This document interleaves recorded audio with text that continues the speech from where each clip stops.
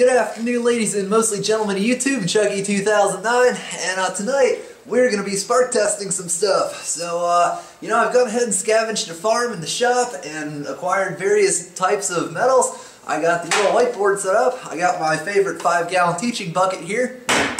And uh, so, let's begin. Alright, uh, what is spark testing? Basically, it's when you take a material of an unknown composition, uh, for example, these channel locks, their generic equivalent. And uh, you take this, get yourself an angle grinder like this here 4.5 inch Milwaukee, and uh, you start grinding on whatever it is you got, and just from the stream of sparks that's going to shoot off, you'll be able to tell a lot about the composition of the base metal of whatever you're working with. So uh, this is designed to be a basic crash course in metallurgy and spark testing and differentiating different types of base metals. Uh, I'm sure I could sit here literally for hours and go on about metallurgy and uh, even spark testing a little bit, but I'm not going to do that, at least tonight. Uh, what we are going to do tonight is talk about steel and three different kinds of cast iron. Not just any steel, we're going to be talking about low carbon steel, high carbon steel, tool steel, and cast steel. And uh, so let's get started. Alright ladies and gentlemen, so first off, steel. Uh, steel is going to be by far the most common thing that you'll probably ever run into welding unless you do some specialty aluminum or okay we're not going to get into that in this video. But uh, basically before we even get into the spark testing part of this a somewhat sure way to tell if something is steel is to just look at it. If it appears to be sheet metal and a magnet sticks to it and uh, then it's well probably steel. If it appears to be plate it's probably steel if it appears to be a smaller structural shape, such as this piece of 3-inch square tube with an 8-inch wall thickness, it's probably steel. Cast iron, as the name implies, is usually cast. It'll be cast into a shape like an engine block or a transmission housing, something along those lines. If it's a generic shape like these, uh, in which it's intended that you get this and cut it up into whatever section you need and weld that together, it is probably going to be steel. I'm sure somewhere out in the world, I don't doubt it, there's going to be structural shapes that are cast iron, probably going to be like a large square tube, large channel, something along those lines, but overall, if it's a structural shape, probably going to be steel. Now let's talk about spark testing steel. Well, it's going to have a lot of sparks, and the more sparks it has, the more carbon content it's going to have, and uh, yeah, the sparks are going to be white colored. Uh, let's talk about carbon content. Uh, if you take a piece of material with a low carbon content and a high carbon content and, uh, and you just bend them over something, the material with the lower carbon content is going to bend and the higher carbon content is going to just break.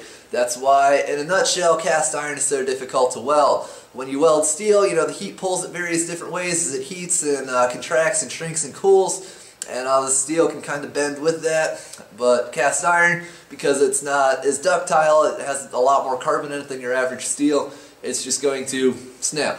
I mean it's just it's gonna crack something along those lines. So uh, carbon content is probably the main thing that determines weldability in pretty much anything. Alright moving on I guess we should just spark test this stuff. So this is going to be low carbon steel. Now as you can see I've dimmed the lights in here so that hopefully these sparks will show up a little bit better on camera. Now this is going to be the test which off of which we base our comparisons to every other kind of metal here. So let's do it.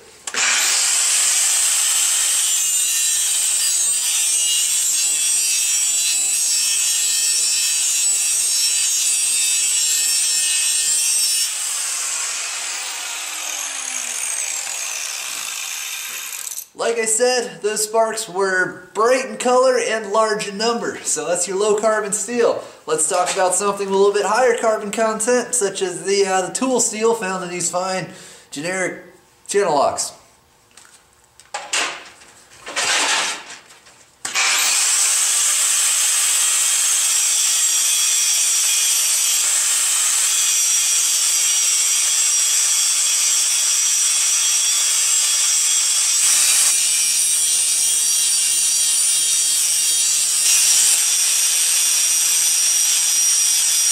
So there you go. As you notice, the difference between uh, mild steel and tool steel, the difference in color is not a whole lot different, but with more carbon content comes more flare into sparks. With the mild steel, uh, you know, an individual spark would be just kind of like a straight shooter, just go, just flying across. Whereas with the tool steel, it looked like it fizzled a little bit. It branched out, it uh, sparkled, it uh, more flare. That's what I'm trying to say. Tool steel, the more carbon content you have, the more flair you're going to have. Now let's play that back with like a uh, with like a top view and you'll see exactly what I mean.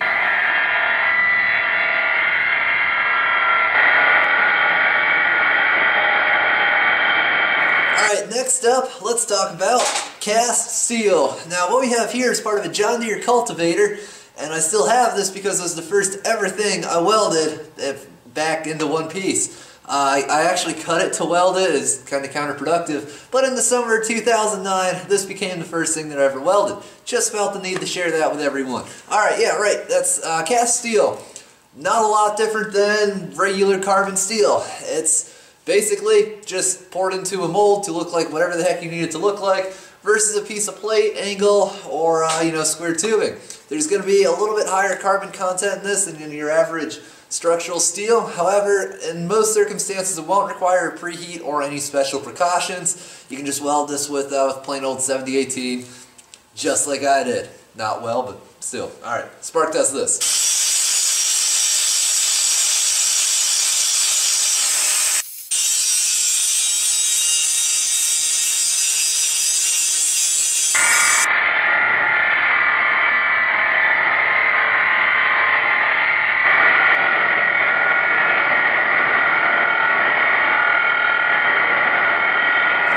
So there you go. Cast steel, not a whole lot different than regular old uh, mild steel, just a little bit darker, a little bit yellowish color, a little bit more of a yellowish color you could say, and a little bit more flare in those sparks, not as much as uh, not as much flare as our tool steel had.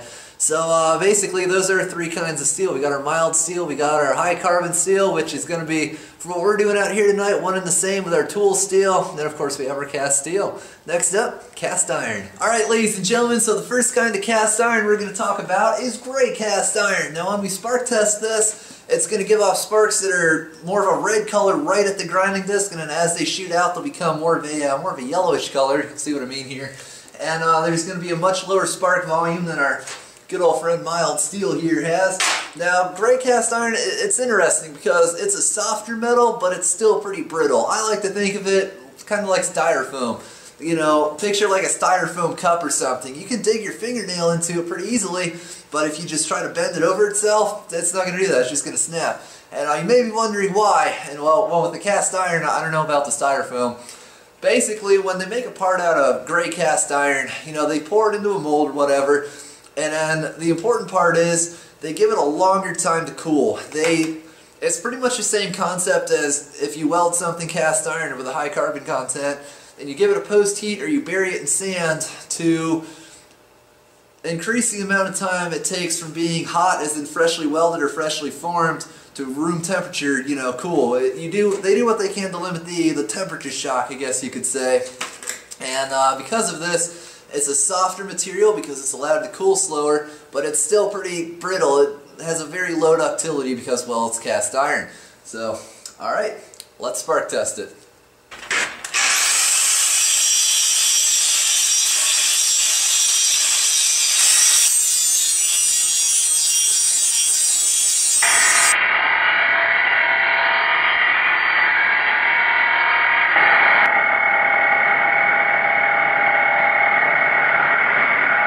See what I mean about the lower spark volume? I mean, it's, it's a fraction of the sparkage that uh, good old low carbon steel throws off. Now, because of everything I just said, I would never really recommend welding this stuff with 7018, but I did weld this actual vise with 7018.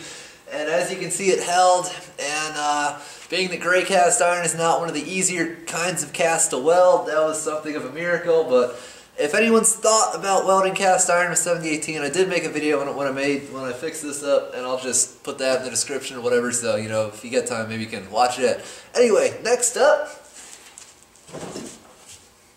white cast iron. White cast iron is very similar to gray cast iron. Uh, the main difference being back in the manufacturing process. Uh, basically, everything I told you all about with the gray cast iron about how it's cooled slowly and all that, uh, that just doesn't really happen with the white cast iron. That's the main difference. It's not like they pour it and then just dunk it in water or something. I don't know, maybe they do. That's, that's outside my area of expertise, or whatever the heck you call this. Anyway, uh, it is cooled faster, thus it has a higher carbon content. It's going to be more brittle, and uh, it's going to be less ductile, which means it's going to be even harder to weld than gray cast iron. Oh yeah! Alright, um, basically when you spark test it, because like I said, they are a lot alike, it can be kind of hard to tell them apart. The main difference is there's going to be even less sparks with white cast iron uh, than there are with gray. Let's do it.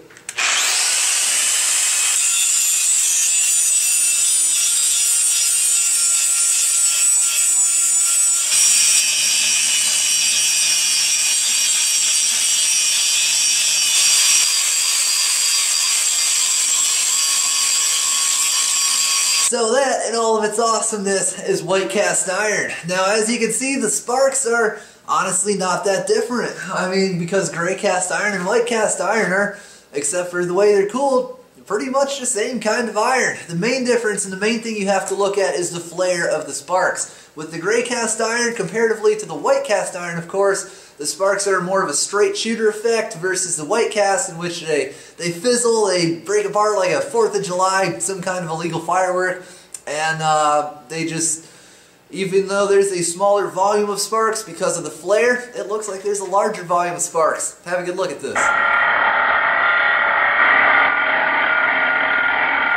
See what I mean? So uh, a lot more flare to the white cast iron because like I said, just the uh, the way it's cooled, it derives a higher carbon content than its gray cast cousin.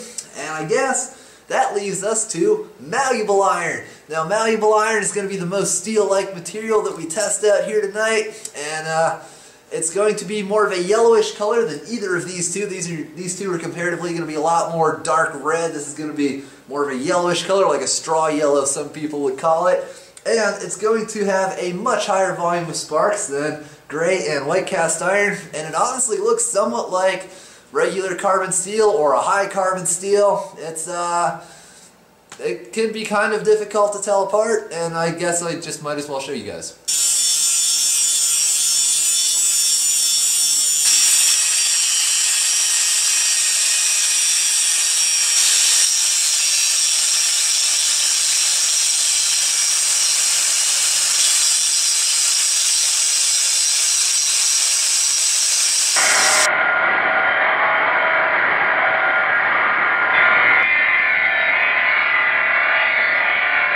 Well, there you go, everybody. Uh, this has been your basic lesson in spark testing with Stretch, myself, and um, I hope you guys have enjoyed watching this video. I've greatly enjoyed producing it for reasons I don't fully understand, but I've had a blast out here, and uh, hopefully this video helps you. Hopefully, next time somebody brings you something, and you're like, can you weld this for me? And, uh, you're like, how the hell did you break that? Now, I mean, you're like, maybe, let me do a quick little spark test on this and see what I can do for you you know, hopefully it'll help you figure out what exactly you have to work with. Now let's talk for a minute about welding cast iron. Uh, it's something that I've tried and miraculously succeeded at, more so than I usually do with women. But anyway, uh, basically, I have plans to produce a lot more cast iron welding videos. Something I really want to practice at, get good at. It's something that not a lot of people are willing to do, and uh, so uh, for obvious reasons, if you can do that, that's going to be a good thing for you, and that's the main reason I want to learn how to weld cast iron. Anyway, if you guys have any suggestions on cast welding videos, any methods you'd like me to try, anything along those lines, please feel free to leave them in the comments below. And I really hope you guys have enjoyed this video. Like I said, I've had a blast making it. And uh, so, big thank you to, for you to watching, for you for watching. Thanks for watching. Don't forget to rate, comment, and subscribe for more. Have a nice night, everybody. Yeehaw.